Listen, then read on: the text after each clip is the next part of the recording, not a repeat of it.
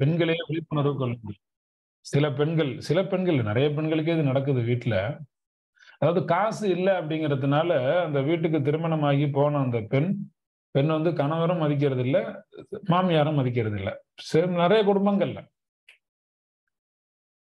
இப்ப நிறைய குடும்பங்கள்ல வந்து மருமகளுக்கு மரியாதை கிடையாது. அந்த கணவனிடமும் மரியாதை கிடையாது மாமியாரிடம் மரியாதை கிடையாது. ஏனென்றால் அவர்கள் வருமானத்தை ஈட்டி குடும்பத்துக்கு தராத காரணத்தால். இப்போ கல்யாணம் பண்ணி போவாங்க குழந்தை பிறந்த ரெண்டு குழந்தை மூணு குழந்தை பிறந்துரும். அந்த கணவரே சம்பாரிச்சு போடுவாரா? மாமியார் வீட்டுல இருந்து சும்மா உட்காந்து திங்கிறாங்கன்னு வேற மாமியார் வேற நினைச்சுக்குவாங்களா? இப்படி எல்லாம் கஷ்டங்கள் உருவானுச்சுன்னா அப்படி எல்லா குடும்பத்திலும் அப்படி இல்லை. ஏதோ ஒன்று ரெண்டு குடும்பங்கள்ல அப்படி இருக்கத்தான் செய்யுது. அந்த அப்படி இருக்கக்கூடிய குடும்பங்களுக்கு நான் சொல்றது பொருந்தும். கவனமா கேட்டுக்கோங்க. மருமகள்களே உங்களுக்கு உங்கள் குடும்பத்தில் மதிப்பு இல்லை என்றால் பணத்தால் மதிப்பு இல்லை என்று நீங்கள் நினைத்தாலும் கூட பணம் இருந்தாலும் கூட சில நேரம் உங்களை மதிக்க மாட்டாங்க. ம- மதிக்கணும்னா ம- மதிப்புக்கு வந்து நீங்க அதிகமா மாமியாரோட மதிப்புக்கு நீங்க முக்கியத்துவம் கொடுக்காதீங்க. கணவருடைய மதிப்புக்கு முக்கியத்துவம் கொடுங்க. மாமியார் மதிச்சாலும் சரி மதிக்காட்டும் சரி பெரிதா அதெல்லாம் கண்டுக்காதீங்க. சுயமா வாழ பழகுங்க. சுயமா வாழ பழகுங்க.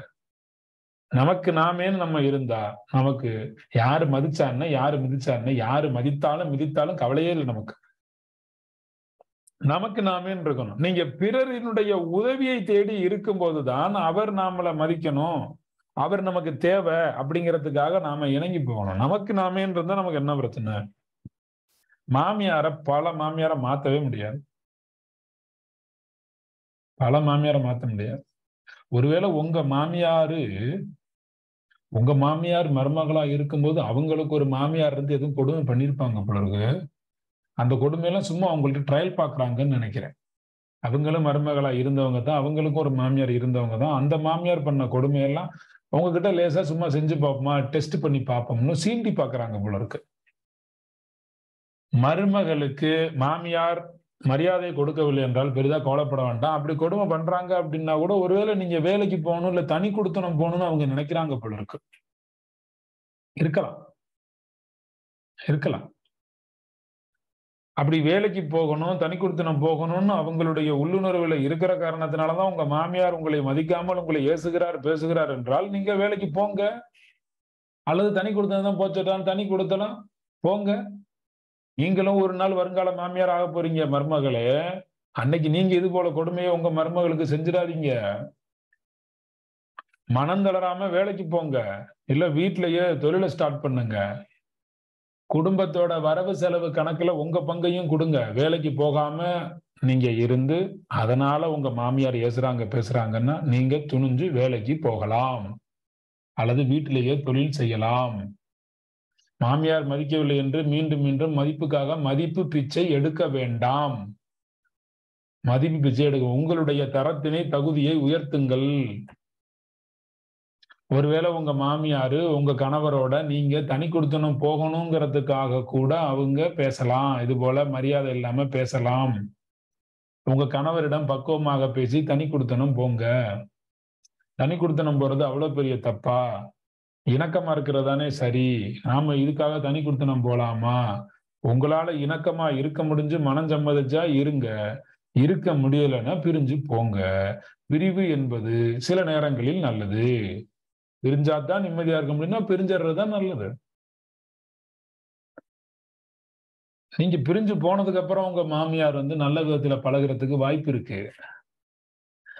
உங்களை உங்க மாமியார் மரியாதையா நடத்தல அப்படிங்கிற காரணத்துக்காக நீங்க பதிலுக்கு மரியாதை கெட்டு போய் வேற ஏதோ சில செயல்களை செய்திடக்கூடாது. மரியாதை கெட்ட தானமான வார்த்தைகள் அதாவது மரியாதை கெட்டு போச்சுங்கிற மாதிரியான வார்த்தைகளை உதித்திடக்கூடாது. அது ஒன் சைடாவே மரியாதை கெட்டவங்க ஒரு ஒரு ஒரு மோசமான ஆளா மாமியார் மட்டுமே இருந்துட்டு போட்டோம். நீங்க பதிலுக்கு பதில் மோசமா நடந்து கொள்ள வேண்டாம். அப்படி நடந்து கொண்டால் உங்களுடைய பக்க நியாயங்கள் எடுபடாமல் போயிரும் மருமகளே. மருமகளை சில மாமியார் என்ன நினைக்கிறார் என்றால் மகன் சம்பாதிக்கிறதெல்லாம் திங்கிறதுக்குன்னே வந்து உட்கார்ந்துருக்கா? அப்படின்னு நினைப்பாங்க. அதனால ஏசுவாங்க. என் மகன் சம்பாரிச்சு கொண்டு வந்து இப்படி ஓடா தேஞ்சு கொண்டு வந்து பொண்டாட்டிக்குள்ள கொட்டுறான். இவ தின்னு தின்னுட்டு வீட்டுல உட்காந்துருக்காள இப்படி நினைப்பாங்க. நகை நீங்க வாங்கி கொள்ளும் பொழுது என் மகன்ல ஓடா தேஞ்சு கொண்டு வந்து நகை வாங்கி ஆண்டாராம் அப்படின்னு நினைப்பாங்க. நல்ல வீடு கட்டி உங்க கணவர் உங்களை குடியமர்த்தினார் அப்படின்னா ஐயோ என் மகன் சம்பாரிச்சு இல்ல அவளுக்கு கொண்டு இப்படி இன்னைக்கு வந்தவளுக்கு இவ்வளவு செஞ்சுட்டானே அப்படின்னு சொல்லியும் உங்க மேல போட்டி பொறாமைகள் உண்டாக வாய்ப்பு இருக்கு. நான் இப்ப மருமக சைடு மட்டுமே பேசுறதுனால நான் என்னமோ மாமியாருக்கு எதிரி மாதிரி நினைச்சுக்கிட்டு இப்ப நீங்க இங்க ஆன்லைன்லயோ நேரடியாகவோ இருக்கக்கூடிய நபர்கள் நான் என்னமோ மருமக கட்சி நினைச்சு மாமியார் பூரா என் பக்கம் திரும்பி வரக்கூடாது டென்ஷன் ஆயிடக்கூடாது அதெல்லாம் டென்ஷன் ஆயிடக்கூடாது நீங்க சிரிக்கலே எனக்கு தெரியுது. அதெல்லாம் ரொம்ப டென்ஷன் ஆயிடக்கூடாது எங்க மா நீங்க வந்து மாமியாருக்கு எதிரியா பேசுறீங்கன்னு டென்ஷன் ஆயிடக்கூடாது நோ டென்ஷன் நான் மாமியாரை பத்தி பேசும்போது நீங்க அப்புறம் ஒரு தடவை கேட்டாதான் தெரியும். மாமியாருக்கு எவ்வளவு சப்போர்ட் பண்றேன்னு. நான் இப்ப சொல்லிக்கிட்டு இருக்கிறதெல்லாம் சில கொடுமை மாமியார்களை பத்தி தான் பேசுறேன். மாமியாரை பத்தி பேசல. சில மாமியார் மருமகளை மதிக்காம கொடுமை செய்கிறார்கள். அந்த கொடுமையைத்தான் நான் பேசுகிறேன்.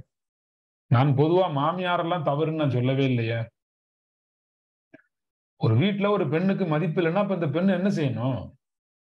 வேலைக்கு தான் போகணும் தனி கொடுத்தனம் தான் போகணும். அல்லது ஏன் மதிப்பு இல்லைன்னு சொல்லி அதை உணர்ந்து அதுக்கு தகுந்த மாதிரியான முயற்சிகளை எடுக்கணும். பெரும்பாலும் எக்கனாமிக்கலா தான் பல இடங்கள்ல சண்டை வருது.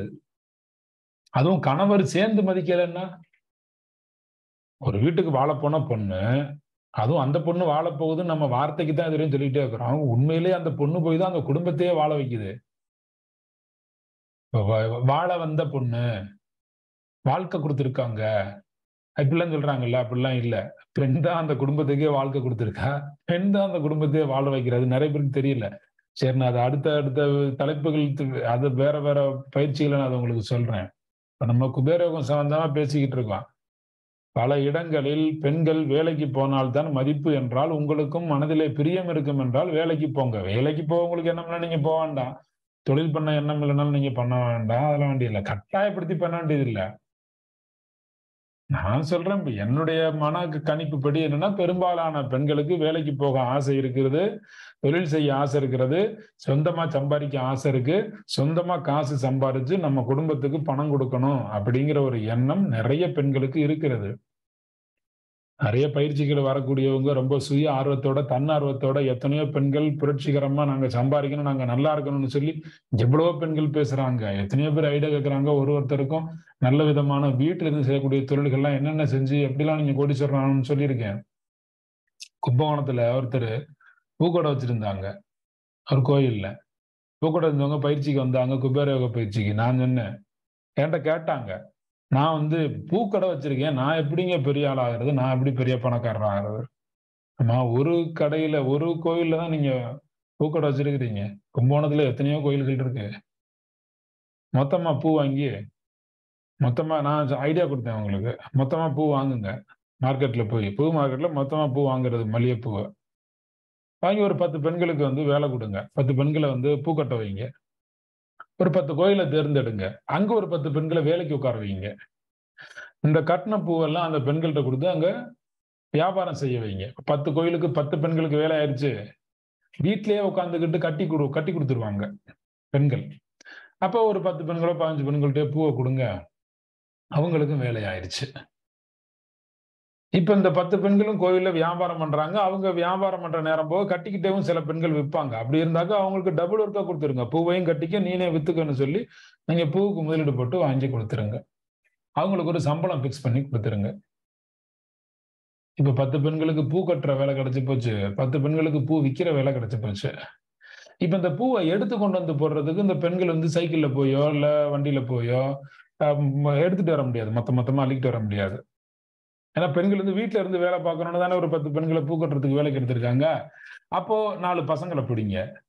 அது கரெக்டாக பூ மார்க்கெட் டைமுக்கு ஒன்று காலையில் இல்லைன்னா சாயந்தரம். அதாவது மத்தியான நேரம். மத்தியானம் ரெண்டு மணி ஒரு மணி. இல்லைன்னா காலையில் வந்து பத்து மணி ஒன்பதரை மணி. இந்த டைம்ல தான் பூ மார்க்கெட்டுக்கு பூ வரும். அப்போ இதில் ஏதாவது ஒரு டைம்ல பசங்களை ஃபிக்ஸ் பண்ணுங்க. பார்ட் டைமா ஒரு நாலு பசங்களை வேலைக்கு எடுங்க. அவனை சேர்த்து அவனை அனுப்ப சொல்லுங்க. அவன் போய் என்ன செய்வான்? பூ எடுத்து வந்து இந்த பெண்கள்கிட்ட வீட்டில் கொண்டு போய் கொடுத்துருவான். இந்த பூ கட்டின பிறகு கலெக்ஷன் பண்ணி கொண்டு வந்து இந்த பத்து கோயிலையும் கொடுத்துருவான். இதுக்கிடையில அவன் இந்த பசங்க சும்மா இருந்தான் அப்படின்னா அவனுக்கு மூங்கி கூட ஒரு கூடை ஒன்று வச்சு எல்லாருக்கும் பூவை உதிரிப்பு வச்சு உதிரிப்பு வியாபாரம் பண்ண ஏரியா ஏரியா தெருவுக்கு தெரு அனுப்புங்க. எல்லாத்துக்கும் முதலீடு நீங்க எல்லாத்துக்கும் சம்பளம் நீங்க கொடுங்க அப்படின்னு சொன்னேன். அவங்க பார்த்தாங்க ஆமா இல்ல இப்படி ஒண்ணு செய்யலாம்ல அப்படின்னு யோசிச்சு இன்னைக்கு இன்னைக்கு இருக்கிற நிலைமைக்கு வாரம் வாரம் ஆறாயிரத்துல இருந்து இருபதாயிரம் ரூபாய் நிறைய இந்த அன்னதான மையங்கள் நிறைய இந்த ஆதரவற்ற பிள்ளைகளை காப்பாற்றக்கூடிய காப்பகங்கள் இருக்குல்ல அவங்களுக்கு உதவித்தொகை மட்டும் வார வாரம். வாரத்துக்கு சொல்றேன் வாரத்துக்கு ஆறாயிரத்துல இருந்து இருபதாயிரம் வரைக்கும் காப்பகங்களுக்கு கொடுத்துக்கிட்டு இருக்காங்க. அவங்களுக்கு வரக்கூடிய லாபத்துல அவ்வளவு செய்யறாங்க அப்ப அவங்க குடும்பத்தினுடைய உயர்வு எப்படி இருக்கும்? அவங்க கிட்ட வேலை பார்க்குறவங்க எவ்வளவு பேர் நல்லா உயர்ந்திருப்பாங்க? சம்பளம் போக இவங்க செலவு போக இவங்க நல்ல வசதியா வந்துட்டாங்க நல்லா இருக்காங்க நல்லா இருக்கு இப்ப. இது எல்லாத்தையுமே இவங்க தொழில்னு பாக்குறாங்க. அதே நேரத்துல எல்லாருக்கும் உதவியாவும் அமையுது. பசங்களுக்கு பார்ட் டைம் ஜாப் கிடைச்சிருச்சு வீட்டுல கூடிய பெண்களுக்கு வேலை கிடைச்சிருச்சு பத்து கோயில்கள்ல வியாபாரம் ஆயிருச்சு. இப்படி ஒன்னு ஒண்ணுக்கும் பாத்தீங்க அப்படின்னா ஒரு வளர்ச்சியா இருக்கும். இப்படி முன்னேற்றமா வேலை பார்க்கக்கூடிய பெண்கள் நிறைய பேர் இருக்காங்க. குபேரோகம் பயிற்சிக்கு வரும்போது நான் அதை சொன்னேன் சொன்னதை சரியா கேட்டாங்க அதை சரியா செஞ்சாங்க. ஏன்னா அவங்க இருக்கிற ஊர் எந்த ஊரு? கும்பகோணம். அப்போ கோவில்கள் நிறைய இருக்கிற ஊர். பக்கத்து பக்கத்துல இருக்கும் நிறைய கோவில் இருக்கும். கும்பகோணத்துலயும் காஞ்சிபுரத்துலயும் நீங்க போய் பாத்தீங்கன்னா நிறைய கோவில்கள் இருக்கும். அரை கிலோமீட்டருக்கு இப்போ ஒரு கோயில் பெரிய அது ரொம்ப பிரசித்தி பெற்ற கோவில்கள் பெரிய பெரிய கோவில்கள் இருக்கும். மக்கள் அதிகமாக வரக்கூடிய கோவில்கள் இருக்கும். காஞ்சிபுரத்திலையும் கும்பகோணத்திலையும். அப்போ இப்படி ஒரு பிஸ்னஸ் ஐடியா பிடிச்சி அதை சரியா நாம செயல்படுத்தினோம் அப்படின்னா சக்ஸஸ் பண்ண முடியும் வெற்றி பெற முடியும். பெண்கள் நிறைய பேருக்கு வெற்றி பெற வேண்டும் என்கிற ஆசை இருக்கிறது. அப்படி ஆசை இருந்தால் ஒரு தொழிலை தொடங்குங்க ஒரு வேலையை பாருங்க. உங்களை நாலு பேர் மதிக்கலைன்னு சொல்லி காசு பணத்துக்காக தான் உங்களை நாலு பேர் மதிக்கலை அப்படின்னா அதுவும் உங்களுக்கும் ஆர்வம் இருக்கு அப்படின்னா தாராளமா செய்யலாமே. ஏன் தயங்குறீங்க? ஏன் தயங்குறீங்க? தொழிலுக்கு ரொம்ப முக்கியமானது கம்யூனிகேஷன் செய்தி தொடர்பு மக்கள் பழக்க வழக்கங்கள். நாலு பேரை பேசி பழகி வச்சுக்கிறதா நமக்கு தேவை. பாருங்க நீங்க ஒரு பொருளை உற்பத்தி பண்றீங்க அந்த பொருளை இன்னொருத்தர் கொடுக்குறீங்க. இந்த உலகம் வந்து பொருளை வாங்குற உலகம் கிடையாது. நல்லா தெரிஞ்சவங்க நிறைய பேர் பொருள் விற்கிறேன் பொருள் விற்கிறேங்கிறீங்க பிசினஸ்னா பொருள் விற்கிறது இல்லை. பிசினஸ்னா பயனை விற்கிறது பயன் யூசேஜ் நமக்கு மிக்சி தேவையில்லை. மிக்சியோட பயன் தான் தேவை. கிரைண்டர் தேவையில்லை. கிரைண்டரோட பயன் தான் தேவை. மல்லிகைப்பூ தேவையில்லை. மல்லிகைப்பூ மல்லிகைப்பூ வாங்கி நம்ம தலையில வச்சுக்கிறதுனால நமக்கு ஒரு பயன்பாடு இருக்கு. அந்த பயன் தான் தேவை. பயனுக்காக வியாபாரம் செய்யணும். பயனை சொல்லி வியாபாரம் பண்ணணும். தங்கம் வாங்குறத விட நம்ம மக்கள் டிசைனுக்காக தான் தங்கம் வாங்க போறாங்க பாருங்க. தங்கம்னா சும்மா எனக்கு கொடுப்பான்னு சொல்லிட்டு எதை ரெண்டு தங்க கட்டிய கட்டி கழுத்துல தங்க விட்டு வந்துருவாங்களா? இல்ல டிசைன் எல்லாத்துலயுமே ஒரு விஷயம் இருக்குது. நீங்க நிறைய பேர் நினைக்கிறீங்க பொருளை வாங்குறாங்கன்னு. இல்ல. செல்போன் நீங்க வாங்குனீங்கல்ல? செல்போன்ல போனோன்னு என்ன கேட்டீங்க? ஃபேஸ்புக் இருக்கா? வாட்ஸ்அப் இருக்கா? பல ஆப்ஸ் வந்து டவுன்லோட் பண்ண முடியுமா? இப்படிலாம் கேட்டீங்கல்ல? எவ்வளவு மெமரி பவர் இருக்கு கேட்டீங்கல்ல? ஒவ்வொன்றும் கேட்டுதானே. அது டிஸ்பிளே ஸ்க்ரீனோட சைஸ் என்ன? உங்களுக்கு யூசேஜ் எப்படி இருக்கும்? அப்ப எல் இதெல்லாம் கேட்டீங்கல்ல? அதுல என்னென்ன பயன்கள் இருக்குங்கிறத கேட்டுதானே வாங்குனீங்க? பயன் ஒப்பிட்டு பார்த்து வாங்கினீங்களா பல ஃபோன் இருக்கும். ஒவ்வொரு ஃபோனுக்கும் இதுல இருந்து அதுல என்ன ஃபீச்சர் இருக்கு அதுல என்ன ஃபீச்சர் இருக்குன்னு அந்த யூசேஜுக்காக தான் நீங்க செல்போன் வாங்குனீங்க. ஒரு ஒரு பொருளுமே அப்படித்தான். இனிமேல் வியாபாரம் என்றால் பொருள் என்று யாரும் நினைக்காதீங்க. பொருள் வியாபாரம் அல்ல. நீங்கள் எந்த பொருளையும் வியாபாரம் பண்ணலாம். அந்த பொருளால் மக்களுக்கு பயன் இருந்தால் நீங்கள் எந்த பொருளை வேண்டுமானாலும் வியாபாரம் செய்ய